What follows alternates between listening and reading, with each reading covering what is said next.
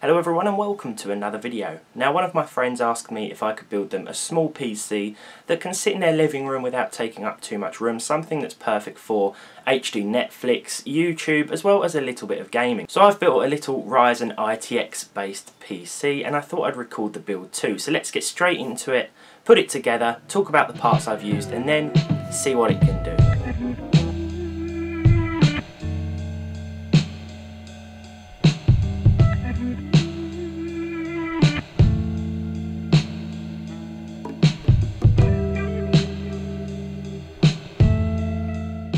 So the first component today is of course the case, the Antec ISK300. This comes with a 150 watt Antec power supply as well, which will be more than enough for all of our components, considering we won't be adding a discrete GPU either, as this PC's primary purpose is that of a home theatre build. Be aware that when building inside an ITX case, it can be a little more tight for room, and it can make cable management a little more complex too.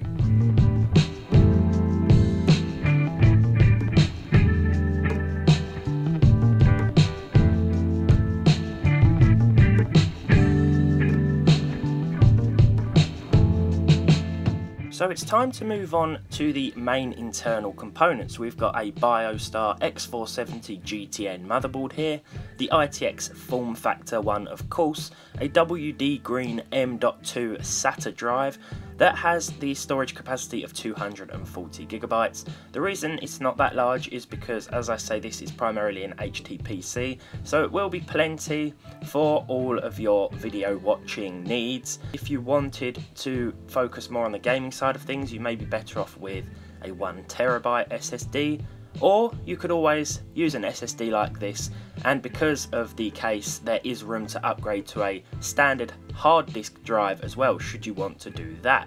We've also gone with the Ryzen 3 2200G processor, a quad core CPU with built-in Vega 8 graphics and one that can still handle a few games pretty well as well providing you turn the settings down. Now because of this system's primary use I have gone with 8 gigs of 2666 dual channel memory as well. 16 gigs would be the better option if gaming is more your thing but for this sort of build I think that 8 gigs of HyperX Fury memory will be plenty and it will still allow us to play some AAA titles too. So let's put all of these things together and get these components inside of our PC case.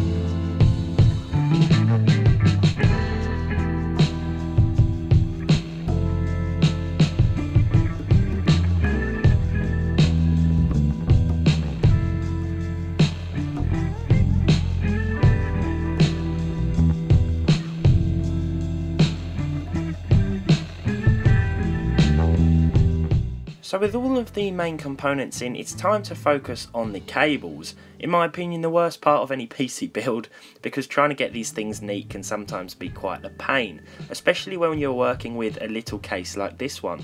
Usually, the details on where everything needs to go will be in the motherboard's handbook, but a lot of the times these days the motherboards themselves will be labelled so you know exactly where you should plug these little front panel headers.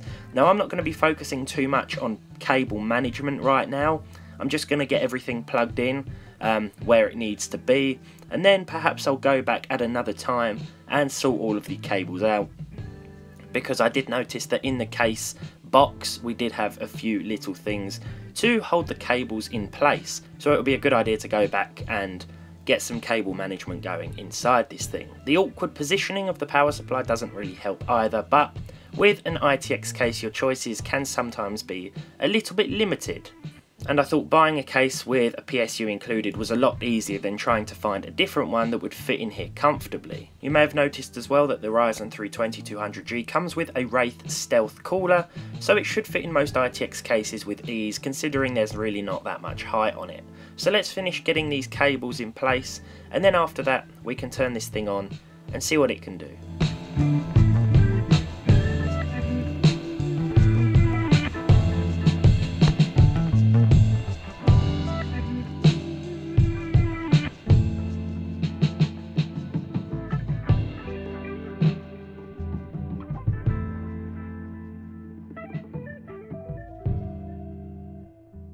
So the first thing to do was to turn the PC on and jump straight into the BIOS here. As you can see the processor is running at 35 degrees idle. It's not a bad temperature. It would be cooler I think in a bigger case but we are quite limited for airflow. We've got the CPU fan and the system fan in here um, I'm actually going to set the system fan to quiet mode because this is an HTPC build.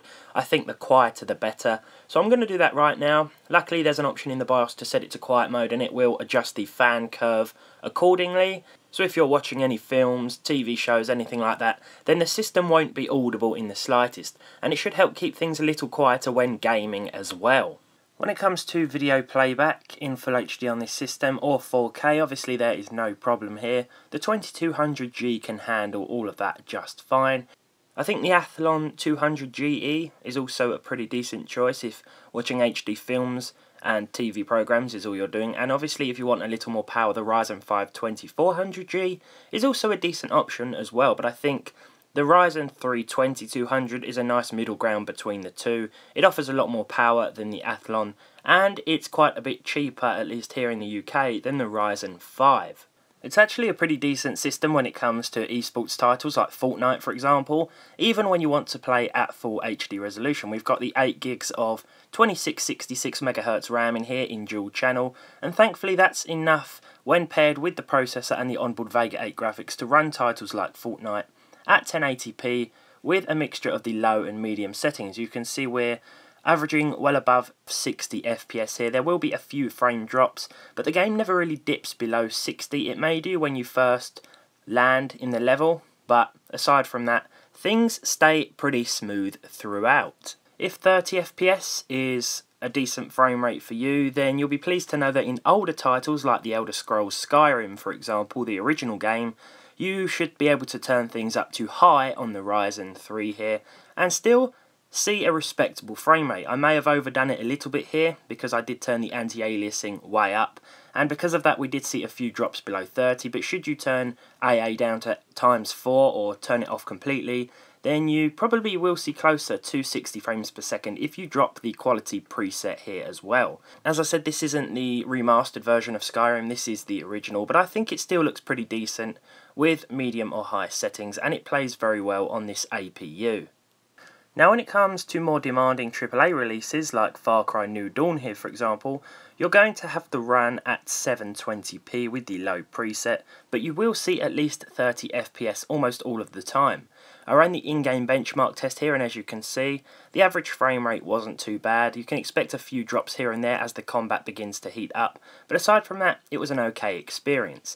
The same can be said for Battlefield 5, both 900p and 1080p will mean that you see less than 30 frames per second a lot of the time, but if you turn things down to the aforementioned 720p resolution, then you should see around 37 to 38 frames per second on average. But again, it totally depends on the level. This is the opening level, which I find takes quite a toll on the frame rate. But should you move on to one of the later levels, like the tank level for example, the Ryzen 3 2200G will be able to handle it quite a bit better. So you should expect to see perhaps 40 to 50 frames per second in some areas with the lowest settings too and 100% resolution scaling.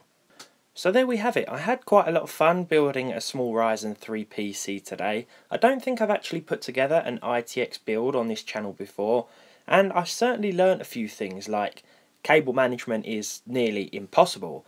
That's something I do want to go back and fix, but I'm glad we managed to put the PC together. Everything was working fine.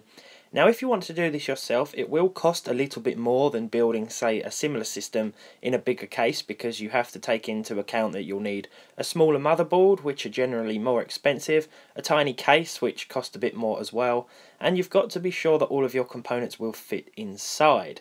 You also are pretty restricted in terms of a power supply and whether or not you can add a discrete graphics card. So I think ITX systems certainly have a fixed purpose. But nonetheless, I hope you enjoyed this video. I hope this helps any of you out who want to build a tiny PC, something similar in spec to this. If you enjoyed it, leave a like on it, leave a dislike if you didn't. Subscribe to the channel if you haven't done so already, and hopefully I'll see all of you in the next one.